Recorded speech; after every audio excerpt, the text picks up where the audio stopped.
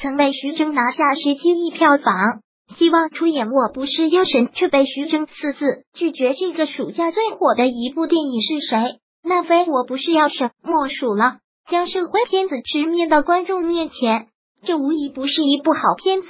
目前票房直达二十亿，虽然最后的结局来说算得上是悲喜交加的结局。但这部片子无疑把我们对于生活和以前社会事情的认知更加的增进了。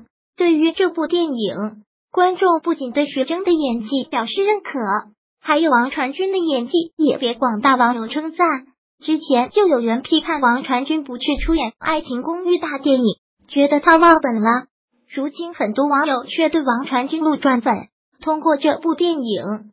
真的让大家认识到了一个不一样的王传君。学登台，我不是药神师，还邀请过某位当红明星，结果那位明星回复道：“只演票房十亿级别的电影。”言下之意就是看不上徐峥的作品，还达不到十亿的级别。